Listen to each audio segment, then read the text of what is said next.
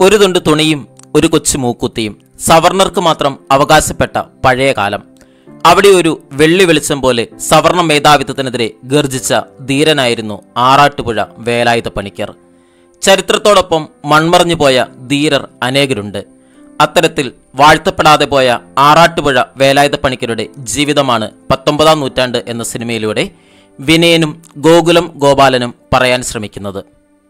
ആറാട്ടുപുഴ വലിയക്കടവ് കുടുംബത്തിലെ ഇളമുറക്കാരനായിരുന്നു വേലായുധ ചേകവർ എന്ന വേലായുധ പണിക്കർ. ഇരുപത്തിരണ്ടാം വയസ്സിൽ തറവാടും സ്വത്തുമടക്കം ഭരണമേറ്റെടുക്കുമ്പോൾ പണിക്കരുടെ കുടുംബം ആ ദേശത്തെ ഏറ്റവും ധനാഢ്യരായ കുടുംബവുമായിരുന്നു. പക്ഷേ പണിക്കർ ഒരു മാടമ്പി തമ്പുരാനായി വാഴാനല്ല മറിച്ച് തന്റെ ചുറ്റുവട്ടത്ത് കണ്ട അനീതിയും അക്രമവും അസമത്വവും ചോദ്യം ചെയ്യാനാണ് ശ്രമിച്ചത്. അതുകൊണ്ടാണ് അദ്ദേഹം വ്യത്യസ്തനാകുന്നത്.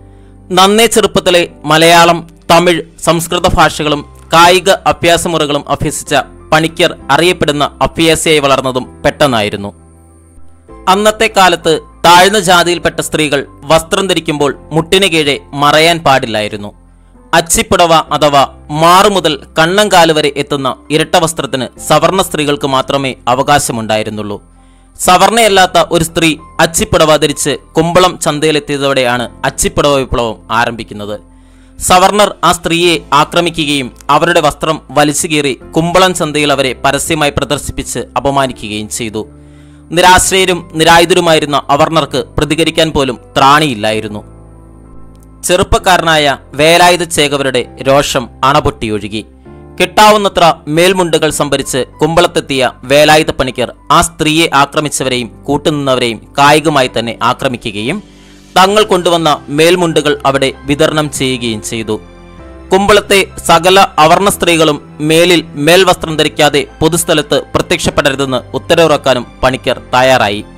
പണിക്കരുടെ ആജ്ഞ ചോദ്യം ചെയ്യുവാനുള്ള തന്റേടവും ചങ്കുറപ്പവും അന്നത്തെ സവർണ മേധാവികൾക്ക് ഇല്ലായിരുന്നു. ആയിരത്തി എണ്ണൂറ്റി അൻപത്തി എട്ടിലാണ് അച്ചിപ്പടവ വിപ്ലവം നടക്കുന്നത്. കല്ലിശ്ശേരി വേലായുധൻ സവർണ മേധാവികളുടെ പേടി സ്വപ്നമാകുന്നതും അക്കാലത്താണ്. താഴ്ന്ന സമുദായക്കാർക്ക് ക്ഷേത്രപ്രവേശനം സാധ്യമല്ലാതിരുന്ന അക്കാലത്താണ് അവർക്കായി ഒരു ക്ഷേത്രം വേണ്ടതുണ്ട് എന്ന് പണിക്കർ തീരുമാനമെടുക്കുന്നത്. വേഷം മാറി വൈക്കത്തമ്പലത്തിൽ പോയി താമസിച്ച് ക്ഷേത്രങ്ങളുടെ നിർമ്മാണവും നടത്തിപ്പ് രീതിയും പഠിച്ച് തിരികെ വന്ന പണിക്കർ സ്ഥാപിച്ച ക്ഷേത്രമാണ് മംഗലത്ത് ഇടയ്ക്കാട്ട് ശിവക്ഷേത്രം. അങ്ങനെ സവർണ മേധാവിത്വത്തെ സകല രീതിയിലും ചോദ്യം ചെയ്തുകൊണ്ടാണ് പണിക്കർ സാമൂഹിക സമത്വത്തിലേക്ക് ആറാട്ടുപുഴയെയും പരിസരത്തെയും നയിച്ചത്. അരുവിപ്പുറത്ത് ശ്രീനാരായണ ഗുരു ഈഴവ ശിവപ്രതിഷ്ഠ നടത്തുന്നത് അതിനും മൂന്ന് പതിറ്റാണ്ടിന് ശേഷമാണ്. ആയിരത്തി എണ്ണൂറ്റി അറുപതിലെ മൂക്കുത്തി വിപ്ലവമാണ് ആറാട്ടുപുഴ വേലായുധ പണിക്കരുടെ ജീവിതത്തിലെ ധീരോദാത്തമായ മറ്റൊരേട്. അക്കാലത്ത് ആഭരണങ്ങൾ ധരിക്കുന്നതിന് ഓരോ സമുദായത്തിനും ഓരോ ചിട്ടയുണ്ടായിരുന്നു. അതനുസരിച്ച് ഈഴവ സ്ത്രീകൾക്ക് മൂക്കുത്തി ധരിക്കുവാൻ അനുവാദമുണ്ടായിരുന്നില്ല. എന്നിട്ടും പന്തളത്ത് ഒരു ഈഴവ യുവതി ഈ നാട്ടുനടപ്പ് ലംഘിച്ച് ഒരു മൂക്കൂത്തി ധരിച്ചു. ഇതിൽ അമർഷം പൂണ്ട സവർണർ ആ ഈഴവ യുവതിയുടെ മൂക്കൂത്തി മൂക്കോടെ ചിത്തിയെടുത്ത് നിലത്തിട്ട് ചവിട്ടിയരച്ചു. ഇതിന് പ്രതികാരം ചെയ്യുവാൻ പണിക്കരും സംഘവും എത്തിയത് ഒരു കിഴി നിറയെ സ്വർണ മൂക്കൂത്തികളുമായിട്ടായിരുന്നു. ഈഴവ യുവതികളുടെ മൂക്കൂത്തി പറിച്ചെടുക്കുവാൻ പിന്നെ ഒരു കൈയും അവിടെ ഉയർന്നിട്ടില്ല. കേരളത്തിലെ ആദ്യത്തെ തൊഴിലാളി സമരവും പണിക്കരുടെ നേതൃത്വത്തിൽ ആയിരുന്നു എന്നത് മറ്റൊരു വിസ്മയിപ്പിക്കുന്ന സത്യമാണ്. ആയിരത്തി എണ്ണൂറ്റി അറുപത്തി ആറിലാണ് അതിന് നിദാനമായ സംഭവം ഉണ്ടാകുന്നത്. കായംകുളം പത്തിയൂരിൽ മേൽമുണ്ട് ധരിച്ച് വയൽവരമ്പിലൂടെ ഒരു അവർണ സ്ത്രീ നടന്നത് സവർണ പ്രഭുക്കളെ കുപിതരാക്കി. അവർ ആ സ്ത്രീയെ അധിക്ഷേപിക്കുകയും അവരുടെ വസ്ത്രത്തിൽ മുറുക്കി തുപ്പുകയും ചെയ്തു. ഈ വിവരം പണിക്കരെ പ്രകോപിതനാക്കി. എന്ന് മാത്രമല്ല ഇനി ആവർത്തിക്കാത്ത വിധം ഇത് അവസാനിപ്പിക്കണമെന്നും അദ്ദേഹം തീരുമാനിച്ചു. ആ ദേശത്തെ തൊഴിലാളികളോട് ഇനിയൊരു സന്ധി ഉണ്ടാകും വരെ തൊഴിലിൽ നിന്ന് വിട്ടുനിൽക്കുവാൻ പണിക്കർ ആഹ്വാനം ചെയ്തു. അത്രയും കാലത്തെ അവരുടെ ഭക്ഷണത്തിനും മറ്റുമുള്ള വക അദ്ദേഹം തന്നെ അവർക്ക് നൽകാമെന്ന് ഉറപ്പും നൽകി. തൊഴിലാളികൾ ഒന്നടങ്കം തൊഴിലിൽ നിന്ന് വിട്ടുനിൽക്കുകയും ചെയ്തു. അതോടെ ജന്മിമാരായ സവർണർക്ക് വരുമാനമില്ലാതാവുകയും ചെയ്തു.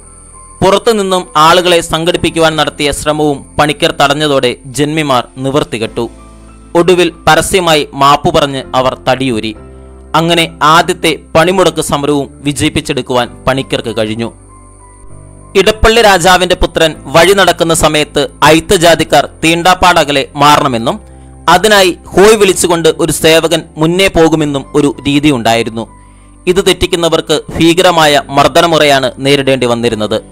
ഒരിക്കൽ രാജപുത്രനായ രാമൻ മേനോൻ ഹോയ് വിളികളോടെ വഴി സഞ്ചാരം ചെയ്യുന്ന സമയത്ത് പണിക്കരും കൂട്ടരും എതിർദിശയിൽ വരുന്നുണ്ടായിരുന്നു. തന്റെ കൂട്ടുകാരോട് അതിലും ഉച്ചത്തിൽ ഹോയ് വിളിക്കുവാൻ പണിക്കർ ആവശ്യപ്പെട്ടു. തുടർന്ന് ഇരു സംഘവും തമ്മിൽ സംഘട്ടനമുണ്ടാവുകയും രാമൻ മേനോനെയും കൂട്ടരെയും വയലിൽ തള്ളി പണിക്കരും കൂട്ടരും കടന്നു പോവുകയും ചെയ്തു. ഇക്കാര്യം കോടതി വ്യവഹാരമാവുകയും പണിക്കർക്കും കൂട്ടർക്കും ഒരു വർഷം തടവ് ശിക്ഷ ലഭിക്കുകയും ചെയ്തു. കോടതി ഉത്തരവ് മാനിച്ച പണിക്കർ കൊല്ലത്തെ ജയിലിൽ ഒരു വർഷം തടവ് അനുഭവിച്ചു. തടവ് ശിക്ഷ കഴിഞ്ഞ വേലായുധ പണിക്കരെ സ്വീകരിക്കാനെത്തിയത് മുത്തുക്കുടയും മേളവുമായി പതിനായിരക്കണക്കിന് വരുന്ന നാട്ടുകാർ. അതിലേറെയും അച്ചിപ്പുടവ ധരിച്ച മൂക്കൂത്തിയിട്ട സ്ത്രീകൾ. അദ്ദേഹത്തെ സ്വീകരിക്കുകയും ഘോഷയാത്രയായി നാട്ടിലേക്ക് തിരികെ ആനയിക്കുകയും ചെയ്തു. ഇക്കാര്യം സവർണ മേധാവികളെ ഞെട്ടിച്ചു. പണിക്കരോട് നേരിടാൻ അവർക്ക് നേരത്തെ ഉണ്ടായിരുന്ന ഭയം ഈ ജനസമിതി കണ്ട് ഇരട്ടിയാവുകയാണ് ഉണ്ടായത്. ഒരിക്കൽ ജയിൽ വിധിച്ച തിരുവിതാംകൂർ മഹാരാജാവിൽ നിന്ന് വീരശൃംഖല വാങ്ങിക്കൊണ്ടാണ് പിന്നീട് പണിക്കർ ശ്രദ്ധേയനായത്. മുറജപത്തിനായി തിരുവനന്തപുരത്തേക്ക് കൊണ്ടുപോയ സാളഗ്രാമം തട്ടിയെടുത്തുകൊണ്ട് കായംകുളത്തെ കായലിൽ കൊള്ളക്കാർ രാജാവിനെ വെല്ലുവിളിച്ച സമയത്ത് അവരെ കണ്ടെത്തുവാനോ സാളഗ്രാമം തിരികെ നേടുവാനോ കഴിയാതെ പോയ രാജാവിന് ഒടുവിൽ പണിക്കരെ തന്നെ ആ ദൗത്യം ഏൽപ്പിക്കേണ്ടി വന്നു. കൊള്ളക്കാരെ കണ്ടെത്തി സാളഗ്രാമം പിടിച്ചെടുത്ത് കുറ്റവാളികൾക്കൊപ്പം രാജസന്നിധിയിൽ എത്തിയ പണിക്കർ കരുത്തുകാട്ടി രാജാവ് സ്വന്തം കൈകൾ കൊണ്ട് വീരശൃംഖലയും തലമുറകൾക്ക് പണിക്കർ സ്ഥാനം ഉപയോഗിക്കാനുള്ള അനുവാദവും നൽകി പണിക്കരെ ബഹുമാനിച്ച് തിരിച്ചയച്ചു.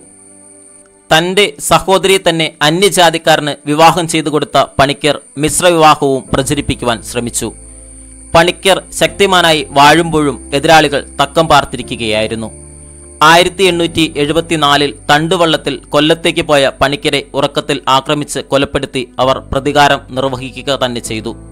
ചതിയിൽ ആ കൃത്യം ചെയ്തവരിൽ ചിലരെ ആറാട്ടുപുഴയിലെ ജനങ്ങൾ തന്നെ പിന്നീട് കൊലപ്പെടുത്തി.